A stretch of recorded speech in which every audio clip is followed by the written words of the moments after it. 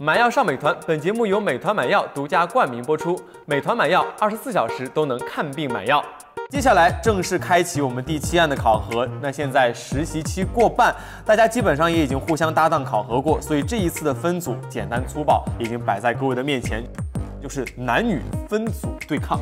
两组的队长的人选也非常有意思，都是之前没有担任过队长的墩墩和欣欣，期待他们能带给我们怎样的惊喜。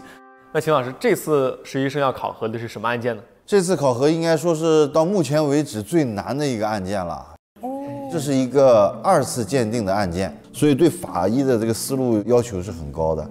嗯，那么接下来就给大家来分发一下我们这次的案件本。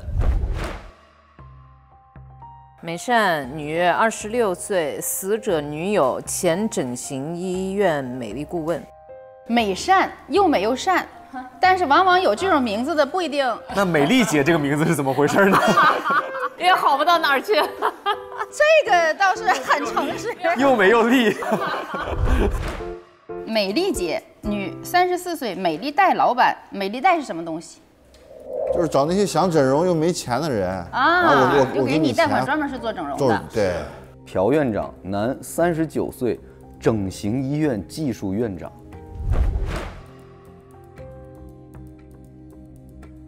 我看我这个介绍是最短的，整形医院的学员，就是因为是学员，所以叫小袁。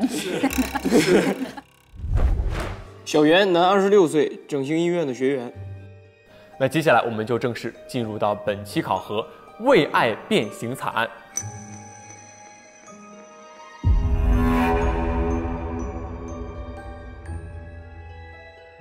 一男子在整形手术后死亡，初步鉴定未能确定死因。死者女友曾在该机构工作，坚称男友死于医疗事故，并前往该机构与院长对峙。此时，院长正在进行销售培训。办整形医院有几点很重要啊：挑最好的地段，装修要选 ins 风格，专家你得请 H 国的。设备呢，要买知名品牌的吹风机啊，不超过三千块的都不要用，啊，懂吧？人家管销售叫 sales 啊，我们多整整整形医院叫做美丽顾问。排面，知道吧？要有排面，我们要会沟通，要会跟任何人沟通。学生来聊什么？聊校园爱情。跟白领聊什么？聊聊职场歧视。跟妻子聊什么？出轨啊！我们在卖什么？卖产品？错，我们是在卖焦虑啊！每个人都有自己焦虑的部位，你放大，再放大，放到无限大。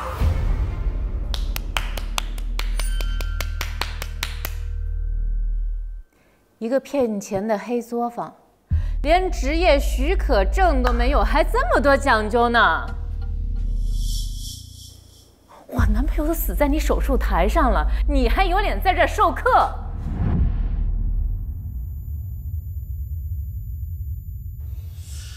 哦，美善啊，这件事情我也很痛心，但是鉴定结果不是都说了吗？死因不明。再说了，医院已经给出了人道主义赔偿方案了，该做的我都做了，谁都不想有这样的意外。这不是意外，这个叫医疗事故。我今天必须要讨个说法。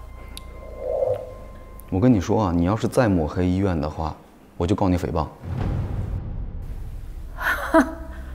抹黑，抹黑是吧？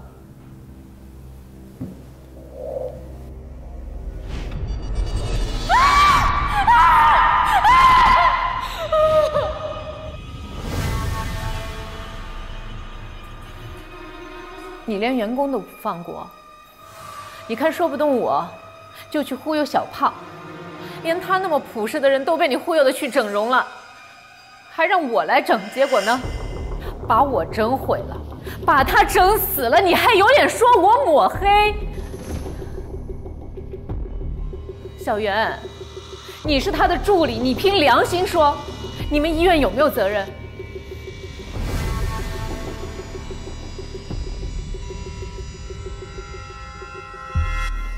我们医院是还有一些改进空间，但小胖真的是意外摔死的，当时我们发现的时候已经在地上了，还是院长报的警。要是医疗事故的话，我们完全可以隐瞒这件事情。不可能是意外，小胖又不是第一次整，所有的流程他都知道。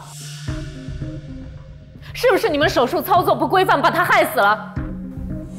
美善，我的忍耐是有限度的。如果你继续在这里没有证据还胡搅蛮缠的话，我就要报警了。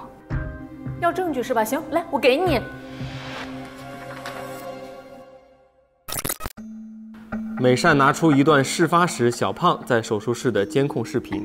十四点，一名医生在给小胖手术的过程中，手术钳掉落在地，小胖口腔出血流到地上。医生捡起手术钳为小胖止血后继续手术。十六点四十，医生完成手术后离开。不久，医生回来唤醒小胖。小胖，小胖。小胖攻击医生，摇头晃脑，双手乱舞。谁啊你？医生电话响起，立即离开。小胖在做出爬行、打转、缩到墙角，时而静止不动，又时而手舞足蹈的异常行为后，四肢僵硬的走出了监控画面。